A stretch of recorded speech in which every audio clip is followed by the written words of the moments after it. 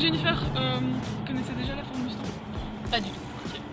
Euh, donc c'est une voiture américaine, la marque Ford, et c'est une voiture qui existe depuis euh, 1964 et qui a eu évidemment plusieurs évolutions.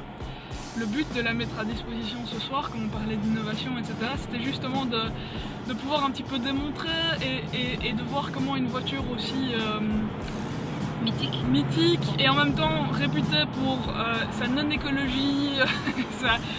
Mais moi je suis preneuse, hein. je suis DRH, euh, mais la RSE j'aime beaucoup, à part pour les voitures, parce que j'ai une trop grande passion pour les voitures. Euh, par contre, ici, il y a des choses intéressantes qui se sont passées chez Ford euh, ces 40 dernières années, puisque la Mustang. Oui, hein. Donc la Mustang, elle existe depuis 64. Le premier modèle de Mustang date de 64. Je pense qu'à cette époque-là, le V8 de la Mustang, ça buvait euh, Des camionnettes. 40 litres au 100 euh, en, en- en usage normal, même sans pousser quoi. hein. Euh, C'était juste de la folie. Les Mustangs, c'est des voitures qui sont réputées pour ça. Et ici, eh ben voilà, j'ai fait, euh, j'ai fait la route depuis Bruxelles tout à l'heure et je suis à 10 litres au 100. Pas Euh, coup. et quand je suis sur l'autoroute, je fais du 9 litres au 100. Ah ça va. Ça, c'est la, la petite version.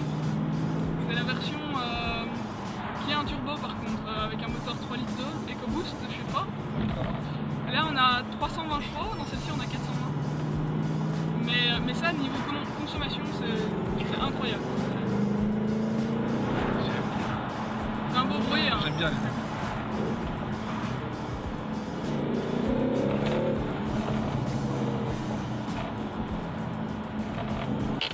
Un tout grand merci.